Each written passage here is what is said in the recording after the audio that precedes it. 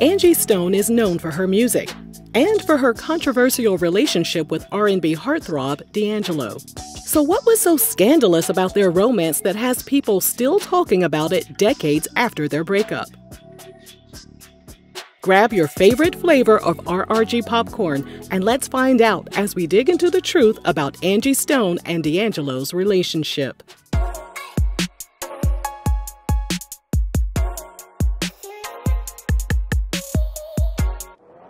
Feeling hungry? Head over to rrgsnacks.com to purchase a bag of our gourmet popcorn. Available in several flavors. Now you can enjoy our super messy videos all while getting your grub on. Use code POPPIN20 to receive 20% off your first order. Angie was previously married to Rodney Stone from hip hop group Funky 4 Plus 1. Their daughter Diamond was born in 1984. Angie and Rodney's love didn't last and they eventually got divorced. Angie moved on. After several years, she eventually met the man of her dreams. It's unclear exactly where Angie Stone and D'Angelo met, but according to her interview with GQ magazine, the year was 1993. D'Angelo was a 19 year old budding musician and high school dropout, while Angie was 31 and singing with a group called Vertical Hold. Angie told GQ that when she met D'Angelo, she knew he would become a superstar, and there was an innocence within him that she became protective of. Some might even say she was a mother figure to him. In an interview with Essence magazine, she described D'Angelo as being awkward. He wore glasses, had short hair, and wore his pants, quote, hanging down to his butt. Angie said, No one saw his beauty but me. It's unclear when they officially began dating, but after becoming an item, things progressed quickly. Angie became a shoulder for D'Angelo to lean on when he doubted himself and his talents. She said he suffered from low self esteem and she constantly had to remind him how beautiful he was. Angie said she would look at him and tell him one day his lips, his eyes, and everything about him would become famous. D'Angelo contributed to Vertical Hold's 1995 album by co writing a song with Angie entitled Pray. Vertical Hold broke up shortly after, and Angie briefly joined another group, while D'Angelo focused on kickstarting his career. D'Angelo joined multiple singing groups and even became a winner at the Apollo Theater. As he began crafting the music that would later be featured on his debut album, Angie became his muse. Although he didn't write any songs specifically for her, Angie said their love, her presence, and her spirit all flowed into his music. They were so in tune with each other that they actually started to act a lot alike. They also picked up on each other's musical habits. During an interview with Fox Soul, Angie said she was always a quote, really tiny girl. Unfortunately, after battling chronic high blood pressure and sarcoidosis, an inflammatory disease that impacts the organs, she was placed on steroids, and the medication caused her to gain an excessive amount of weight. Since D'Angelo fell in love with her when she was smaller and he knew her weight gain was simply a medical issue, Angie said his feelings for her never changed. And since he also struggled with his weight at the start of their relationship, he understood that outward appearances didn't even matter. Although they were in love and loyal to each other, Angie revealed that D'Angelo was a bit controlling and very possessive. She told Essence magazine he was also very jealous and overprotective. But D'Angelo had nothing to worry about when it came to Angie. She said she never gave him a reason to doubt her. She said, I wouldn't even turn my head if he was driving on a freeway because he didn't play that. After signing with EMI Records, his song entitled You Will Know was featured on the Jason's Lyrics soundtrack and was performed by the group Black Men United. Next, it was time for D'Angelo to shine on his own. He recorded all of the tracks for his debut album entitled Brown Sugar. Angie also played a huge role in the formation of the project. She takes credit for helping him create the songs Jonz in My Bonz and Cruisin', and she also braided his hair so he would look presentable during the photo shoot for the album cover. Angie said it wasn't until the album was released in July 1995 that people started to notice how handsome he was.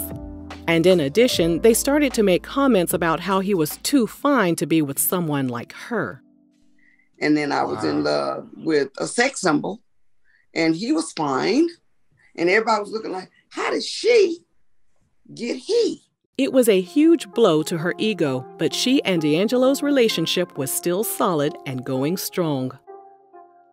In September 1996, they attended an event described as fashion designer Giorgio Armani's tribute to D'Angelo. They rented a limo, and as they were driving to the venue, the car pulled over. Angie said D'Angelo was asked to get into another car where he would be escorted to the event by Vivica A. Fox. Angie told GQ, It was a Hollywood moment. They wanted a trophy girl. I had to walk in behind them to flashing cameras. It started the wheels turning of what was yet to come. Things only got worse from there. When Madonna turned 39, she asked D'Angelo to sing Happy Birthday to her at her star studded party. Eyewitnesses later claimed Madonna sat on his lap and began French kissing him in front of everyone. Although she was confident and knew that D'Angelo loved her unconditionally, hearing what the press had to say about their relationship still stung. Angie said people thought D'Angelo must have had ulterior motives for dating someone as old and as heavy as she was. She called that period of time a cruel reality. As D'Angelo hit the road and began touring, there was temptation everywhere. On top of that, he felt intense pressure from his record company to create a successful follow up album. Feeling burnt out and unclear on which direction to go musically, his life completely changed when Angie gave birth to their son, Michael Archer II, in 1997. D'Angelo told Vibe magazine he was suffering from extreme writer's block up until he witnessed the birth of their son. D'Angelo said the floodgates opened and the spirit of love flowed through his body. They took their newborn son home, and he and Angie co wrote a love letter to their child entitled Send It On.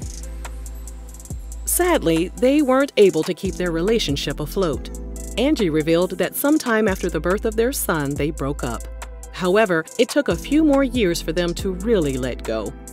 She told Rolling Stone magazine, Neither one of us wanted to be the first to say goodbye.